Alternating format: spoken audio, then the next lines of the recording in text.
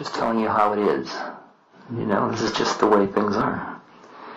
And so you kind of get a little discouraged and your faith flickers. Because you had the experience, you thought you knew, you took a stance to represent how you thought it was, and then suddenly it's all dead. And horrible, and ugly, and empty. And your faith flickers and you say, I've lost it. And at times when the faith flickers and you're part of an organization or a belief system or a technique, that's when you become more fanatic. In order to reinforce your flickering faith, you try to convince everybody else that it's true. So when you feel that fanaticism in another human being, you almost know immediately that their faith is flickering. Because when the faith in what you're doing is perfect, when you just are what you are, you don't have to convince anybody.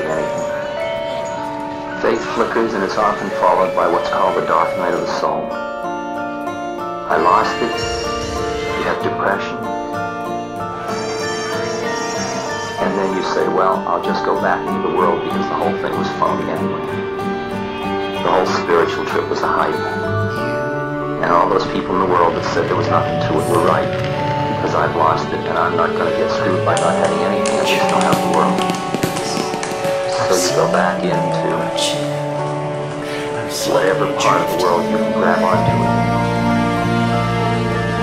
And that's called, as Krishna Das once said, the phony unholy as opposed to phony holy. Because the problem is that once it's happened,